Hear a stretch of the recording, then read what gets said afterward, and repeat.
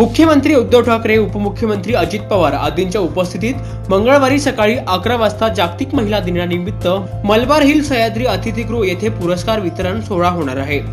जिल्हाधिकारी सूरज मांढरे यांच्यासह नाशिक जिल्ह्यातील चाळीस महसूल अधिकाऱ्यांनी कोरोनामुळे दोन्ही पालक गमावलेल्या अठ्ठावन्न विद्यार्थ्यांना दत्तक घेतले आहे. सगळ्यांचे संगोपन हे अधिकारी करणार आहेत.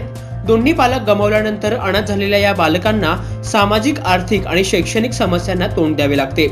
पालकाअभावी ही बालकं सध्या जवळच्या नातेवाईकांकडे राहत असून अनेकांच्या नातेवाईकांना अनाथ मुलांचा अतिरिक्त भार उचलणे कठीण जात आहे.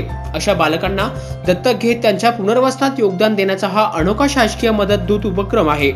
त्यात प्रत्येक अधिकाऱ्याने त्यांच्या मुलांच्या भेटीगाठी त्यांना मदत संपर्क सुरू केला आहे पाच लाखांची शासकीय मदत शैक्षणिक खर्चाव्यतिरिक्त अधिकाऱ्यांनी उपक्रम म्हणून त्यांच्यासाठी पुढाकार घेतलाय. जागर स्थानसाठी शुभम बोडके पाटील नाशिक.